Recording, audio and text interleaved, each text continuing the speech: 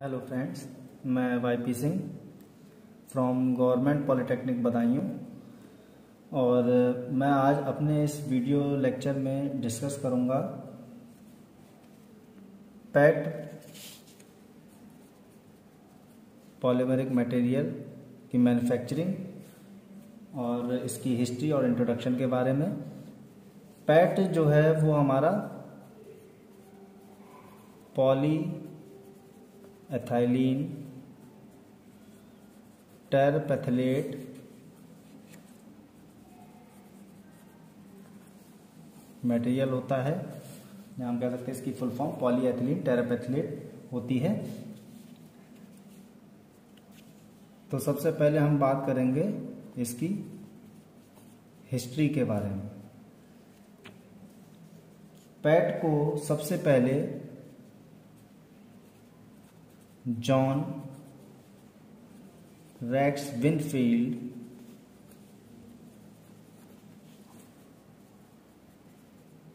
और John Tennant Dickson द्वारा 1947 में कैलिको कंपनी की जो कि इंग्लैंड में स्टैब्लिश है, इंग्लैंड में डेवलप किया था।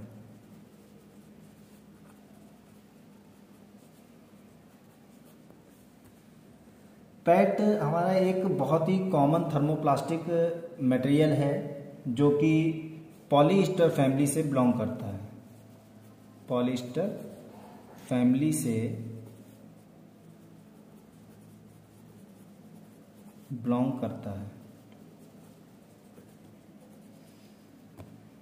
पैट मोस्टली जो है आपका एज अ फाइबर क्लॉथ्स में यूज़ किया जाता है। सॉफ्ट ड्रिंक्स या बार बेवरेजेस की जो बॉटल्स होती हैं, उनकी मैन्युफैक्चरिंग में, या आप लोगों ने देखा होगा जो सॉफ्ट ड्रिंक आपने कोल्ड ड्रिंक की बॉटल्स वगैरह देखी होंगी, या जो मिनरल वाटर की बॉटल्स होती हैं, वो हमारा क्या होता है? पैट मटेरियल ही होता है। PET use in as a fiber in cloths soft drink bottles and beverages bottles इसके अलावा फ़ूड पैकेजिंग में भी फ़ूड पैकेजिंग एटसेट्रा में बहुत वाइडली यूज़ किया जाता है। लगभग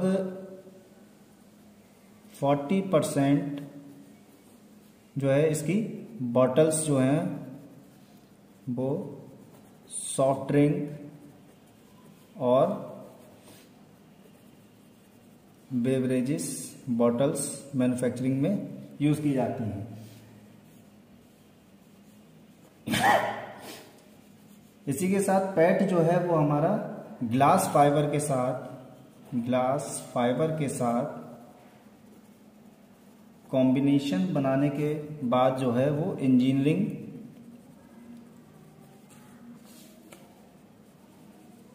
रेजिन में यूज़ किया जाता है।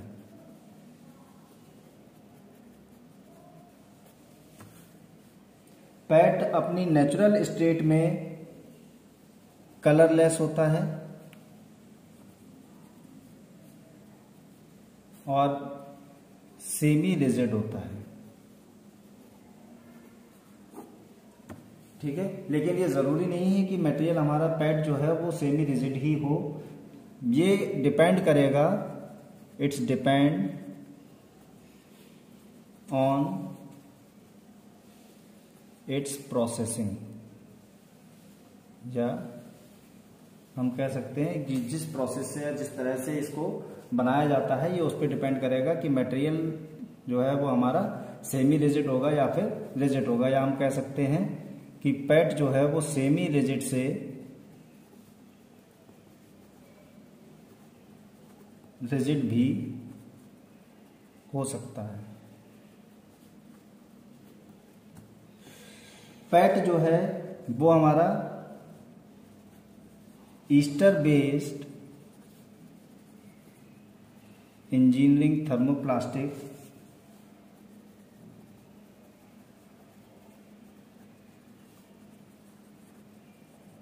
material है। अब ईस्टर बेस्ड है तो इसमें क्या होगा हमारा? ईस्टर ग्रुप यानी कि सी ओ ओ प्रेजेंट होगा। सी ओ कहाँ प्रेजेंट होगा? जो पैट की हमारी मेन चेन होगी, या हम कह सकते हैं बैकबोन चेन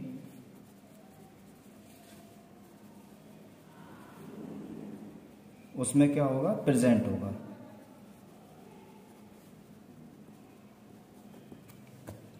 ठीक है? ये इसका हिस्ट्री और इंट्रोडक्शन हो गया। अब हम बात करते हैं इसके केमिकल स्ट्रक्चर की।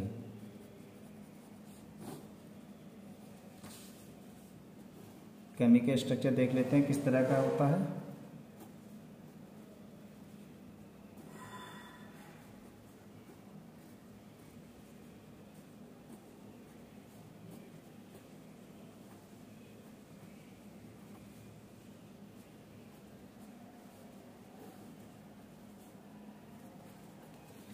ये केमिकल स्ट्रक्चर होता है पेट का।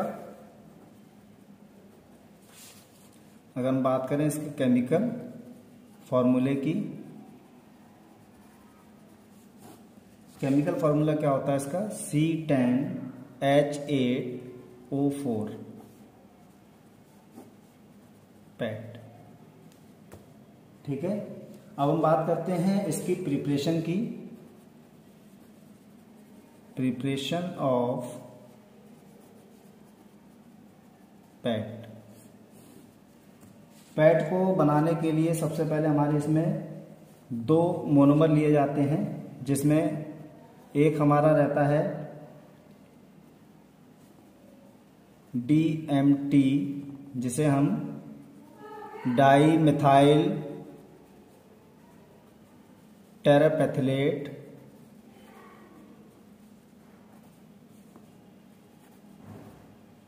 कहते हैं, या फिर इसकी जगह हम क्या यूज़ कर सकते हैं? T P A terephthalic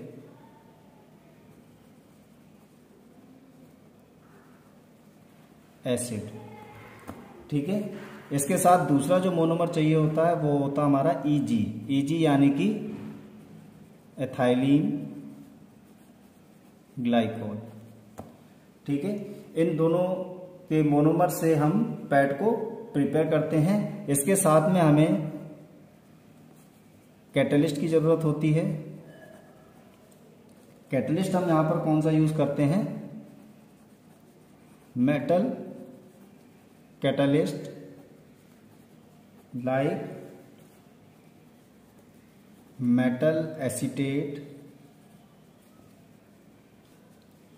तो यहाँ पर जो है डीएमटी या फिर हम टीपीए को लेते हैं, इसके साथ में ईजी e यानी कि एथाइलिन ग्लाइकोल की रिएक्शन कराते हैं in presence of metal catalyst और इसकी बेस पे हम क्या करते हैं पैट को प्रोड्यूस करते हैं।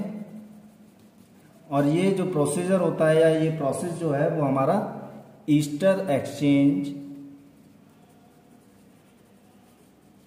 या हम इसको ईस्ट्रीफिकेशन प्रोसेस कहते हैं। इस प्रोसेस में एक low molecular weight di ester या नॉन मोनोमर नॉन मोनोमर हमारा क्या हो गया? डीएमटी या फिर टीपीए इसको लेते हैं और ये कितना रहेगा हमारा? वन मोल ठीक है? इसके बाद क्या है? एथाइलिन ग्लाइकोल लेते हैं। एथाइलिन ग्लाइकोल क्या रहेगा? इसकी रिस्पेक्ट में हमारा 2.1 से 2.2 मोल किसका रहेगा? एथाइलिन ग्लाइकोल का।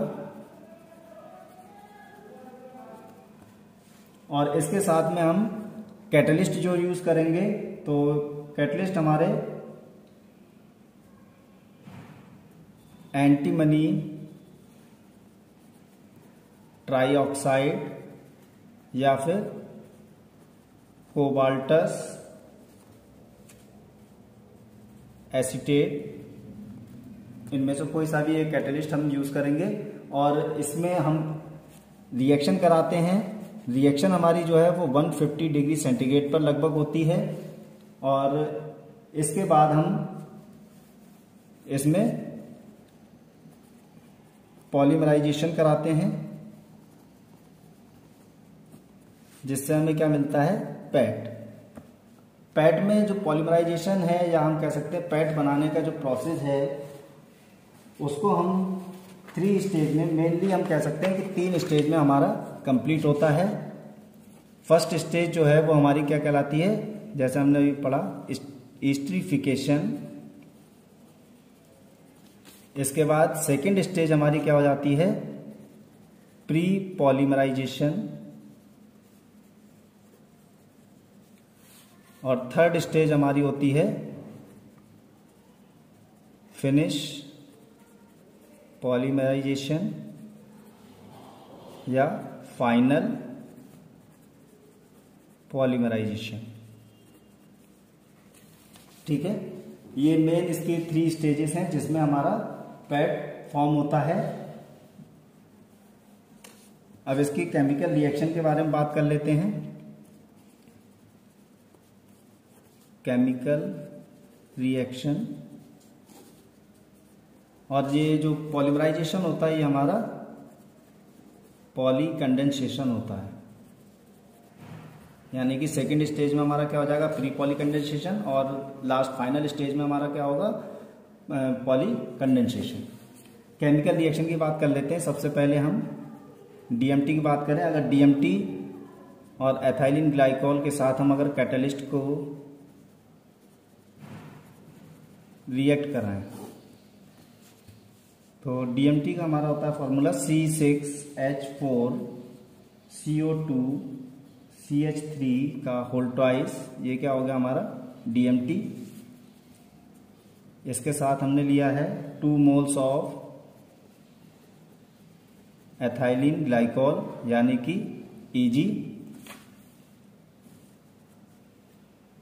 इसके हम रिएक्शन कराएँगे। रिएक्शन कराने पे हमें क्या फॉर्म होगा? पहले हमारा स्ट्रीफिकेशन होगा।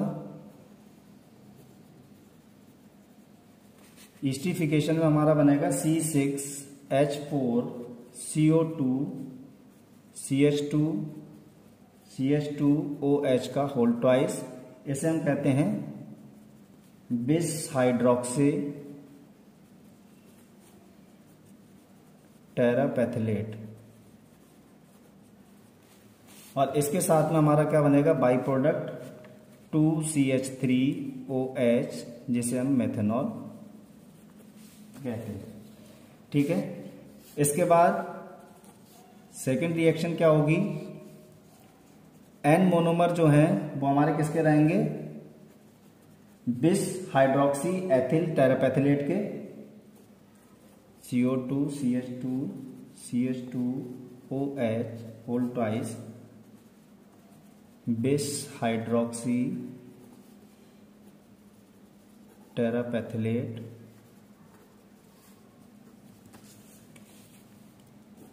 इसको हम क्या करेंगे? अंडर वैक्यूम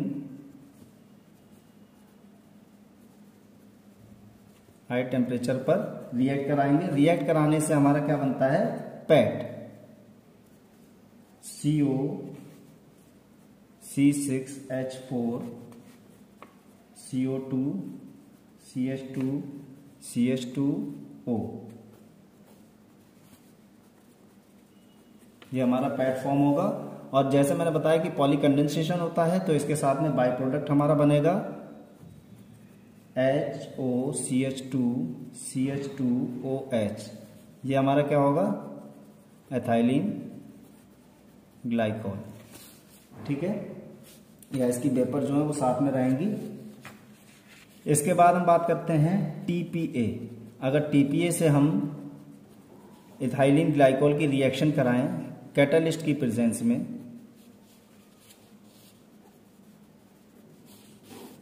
तो हमारी रिएक्शन क्या हो जाएगी? एन मोनोमर लिए हमने यहाँ पर टीपीए के C six H four C O two H का whole twice plus n monomer H O C H two C H two O H ये हमारा टीपी हो गया, ये हमारा ईजी हो गया। इसकी रिएक्शन कराएँगे तो हमारा क्या बनता है? PET C O C six H four C O two C H two C H two O PET और इसके साथ में हमारा two n H two O. By product में हमारा क्या रिमूव होगा? वाटर ठीक है? ये रिएक्शन थी हमारी, जिससे ये क्लियर हुआ कि हमारे जो पैट है वो किस तरह से फॉर्म होता है, या अदर वे में हम देख सकते हैं डीएमटी के लिए। एन मोनोमर जो हैं,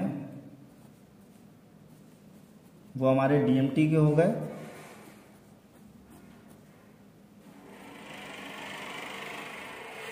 जिसमें हम एन मोनोमर लिए हैं हमने H O C H two का होल ट्वाइस ओ एच ये हमारा क्या है? एथाइलिन ग्लाइकोल और ये हो गया हमारा डीएमटी इसकी हम अगर रिएक्शन कराते हैं तो हमें double one O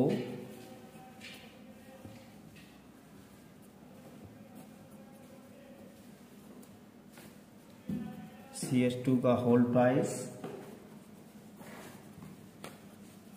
two n minus one H three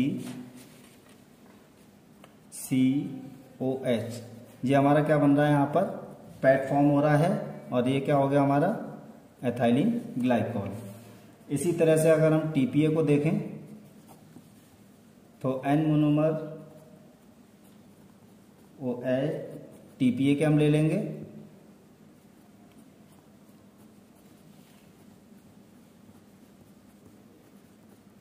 और एन मोनोमर हमने लिया है यहाँ पर सी एच टू का होल ट्राइस ओ एच ये हमारा एथाइलिन ग्लाइकॉल हो गया और ये हमारा क्या हो गया? टीपीए और यहाँ से हमारा क्या है?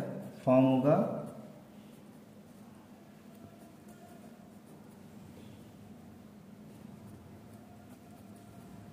पैट सी एच टू का होल ट्वाइस ओ एच ये हमारा पैट फॉर्म हो रहा है यहाँ पर भी। Plus two n minus one H two O, ये हमारा क्या हो जाएगा? वाटर तो ये था हमारा पैट, जिसमें हमने आज डिस्कस किया आपने इस वीडियो में इसकी history introduction chemical structure chemical formula और इसकी प्रिपरेशन को केमिकल रिएक्शन हमने डिस्कस की।